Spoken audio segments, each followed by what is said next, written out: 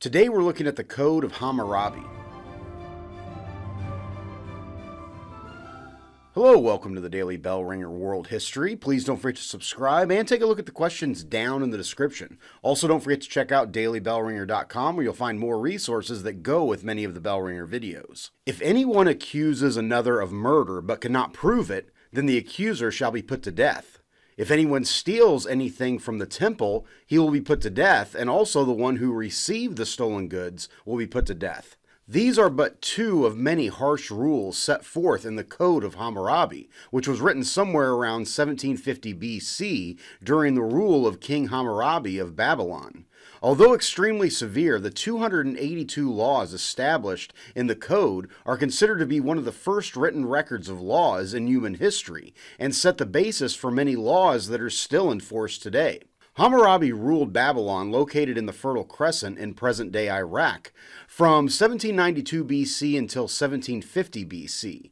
During his rule of Babylon, he expanded the Babylonian Empire up and down the Tigris and Euphrates rivers and eventually ruled the entire region. Late in his reign, the Code of Hammurabi was written onto a black stone stele, which measures close to seven and a half feet in height. A stele is an upright stone slab or pillar with an inscription or design carved into it.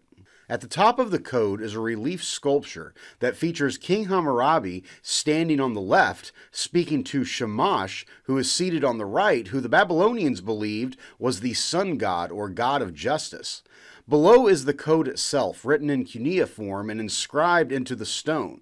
It begins with a prologue or introduction that describes Hammurabi's royal authority and describes his achievements. It then continues into three sections of laws dealing with procedural laws, property laws, and laws dealing with individual citizens of Babylon. The laws are written as if then statements, basically saying if someone does this, then this will be the consequence. For example, one law reads if a person is proven to have stolen an ox, then he or she will have to pay back 30 times the value of the stolen ox. The laws, of course, are notoriously harsh, with many consequences being the removal of hands, tongues, or ears, and many laws simply call for the guilty party to be put to death. Possibly the most famous law from the Code of Hammurabi is the eye for an eye, stating that if a person puts out someone else's eye, then the injured person has the right to put out the other person's eye. Or another interesting law states that if a builder builds a faulty building and the son of the owner of the building is killed when the building collapses, then the owner has the right to kill the son of the builder. Although the consequences for many crimes were extreme, the code did establish a basic principle of law that is still widely adhered to throughout the world today of someone being innocent until proven guilty.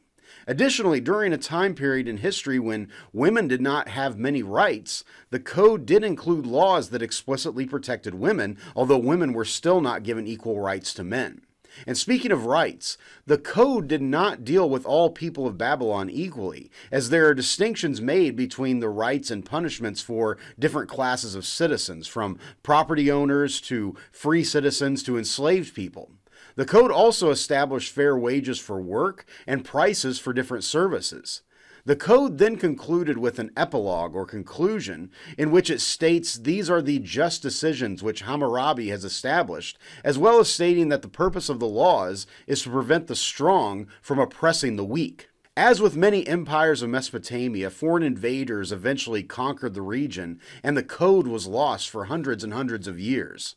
It was not until 1901 that French archaeologists digging in modern day Iran located the stele about 250 miles from the heart of Hammurabi's kingdom. It had been broken into three pieces, but archaeologists pieced it back together and took it to the Louvre Museum in Paris, France, where it still resides today. Although the code itself is very harsh and many of its rules seem unfair, Hammurabi and his code is regarded as an important step in civilizations establishing laws.